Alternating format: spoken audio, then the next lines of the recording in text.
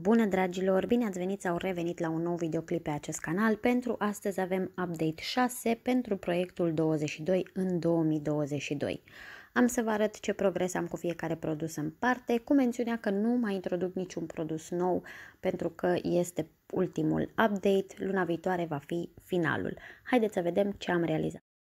Primul produs, paleta de la Douglas, nu am folosit-o în ultima perioadă deloc, dintr-un total de două utilizări. Este o paletă tare, tare frumoasă, dar nu știu de ce nu întind mâna după ea. Sper ca în următoarea perioadă să fiu un pic mai conștiincioasă cu ea. Cel de-al doilea produs, fardul de la The Ball, nu l-am folosit deloc în cadrul acestui proiect, de fapt nu l-am folosit deloc de când l-am, așa că chiar trebuie să-l încerc măcar să văd cum e, să știu ce voi face cu el pe viitor. Este o nuanță tare frumoasă, dar am alte nuanțe care mă atrag mai mult. Cel de-al treilea produs, fondul de ten Cushion de la Giordani Gold. În ultima perioadă l-am folosit o singură dată, dintr-un total de 9 utilizări. Este un fond de ten ok, pe care în, ultima perioadă, în următoarea perioadă sigur îl voi termina pentru că nu mai este mult produs în el.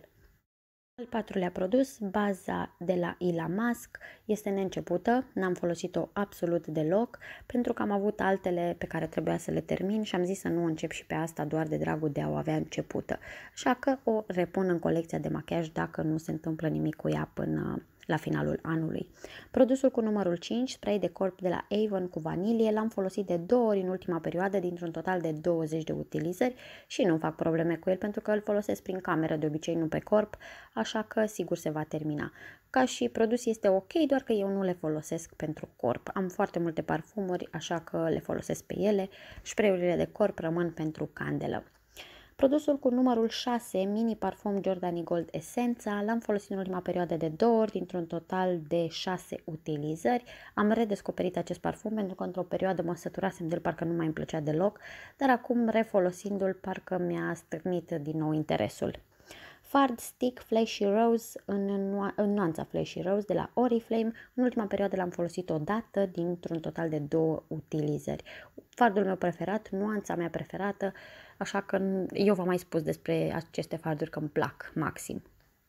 Crema uh, sorbet Codali am folosit-o de 11 ori dintr-un total de 11 utilizări. O cremă lejeră, ok pentru toată, toată ziulica. Produsul cu numărul 9, parfumul Essence d'Amour de la Suddenly Lidl, l-am folosit de 3 ori dintr-un total de 3 ori. Um, scopul că el este să-l folosesc de 10 ori, așa că sigur voi reuși până la final.